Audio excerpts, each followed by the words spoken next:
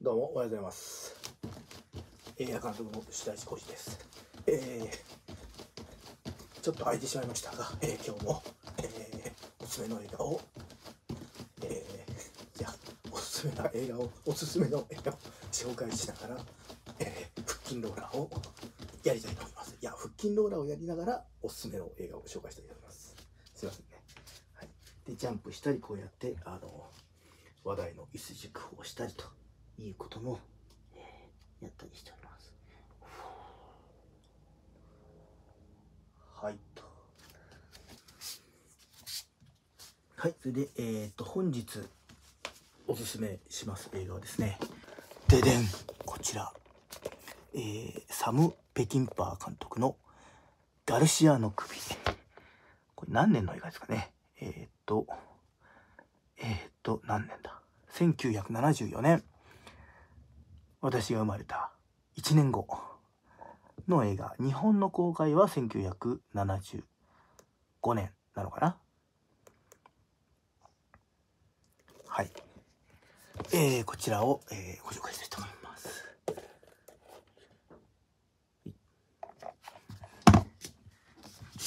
えー、ガルシアの首、えー、っと、初めて見たのはビデオですね。レンタルビデオで見ました。で、えー、な、地味な映画なんですよ。で、えー、まあ、おじさんがね、えー、もうしょぼくれたおじさんが、えー、まあ、賞金首のかかった男の首をね、求めて、で、まあ、その首を、えー持って金を、大金を得ようとするがという話なんですね。で、簡単に言うとね、そんな感じです。えー飲んだくれの本当にね、どうしようもない男が。で、まあ、この作品の、この作品ね、じ地味ですね。ペギンパー監督の映画の中でも、かなり地味だと思います。で、主人公も、まあ、戦ったりするんですけど、こう、ものすごく強いとかじゃなくて、まあ、どちらかというと、ちょっとこう、もう、しょぼくれてきてる親父さんですね。ウォーレン・オーツですけど。で、まあ、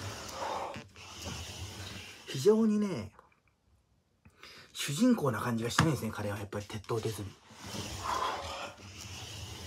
なんか脇役が主役になってしまった。なんかそんな感じがあるんですよ。脇役がスポットライトを浴びてしまった。スポットライト当てるぞっていうよりも浴びてしまった。取り上げられてしまったみたいな。なんかね、そこがすごく好きなとこですね。えー、いかにもな主人公らしい決断とかがなくって、えー彼は本当に、うん、いろんなことがうまくいかないです。彼はいろんなことがうまくいかなくって、まあ最終的には何て言うんですかね、まあ自暴自棄にも似た暴走というか、なんて言ったらいいのかな。ただとにかくもう自分の中から湧き上がる衝動につき従ってもう何の利益にもならないことに最終的には突っ走ってしまうと。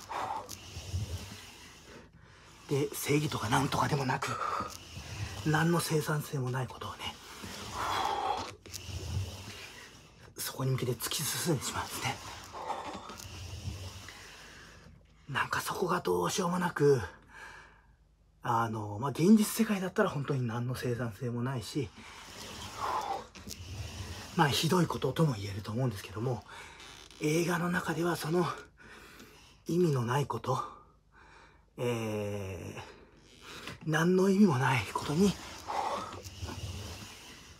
価値を与えることができるというか、価値を見出すことができるというか、えーそれはすごく映画の醍醐味、えー創作物の醍醐味だと思うんですが、えーガルシアの首にはあすごくそういうところを感じます。えー、まあ脇役のような人が主役になっていくという点で言うと、あのー、私の本当に大好きな、えー、狂崎サンダーロードにも、えー、同じことが言えます。